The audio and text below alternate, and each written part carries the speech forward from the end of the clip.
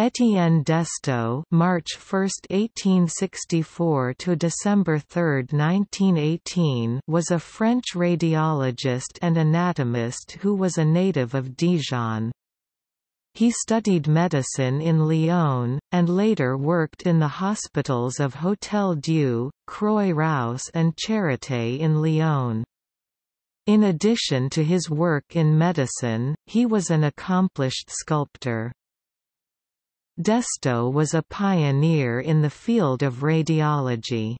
In February 1896, less than two months after Wilhelm Conrad Röntgen (1845–1923) announced his discovery of the X-ray, Destot was making radiographs of patients at the Hôtel Dieu de Lyon. He made thousands of radiographies, many of which were of patients supplied by surgeon Louis Léopold Ollier (1830–1900).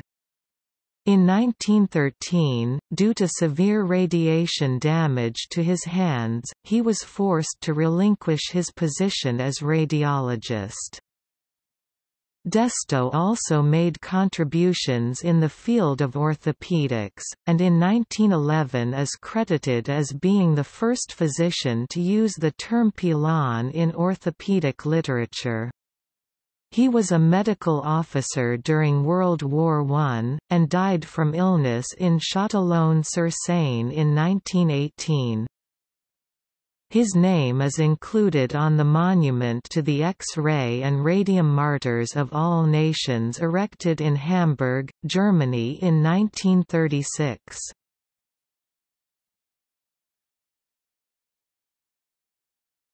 Topic: Associated eponym Destot's space Space in the wrist bounded by the hamate, capitate, triquetral and lunate bones.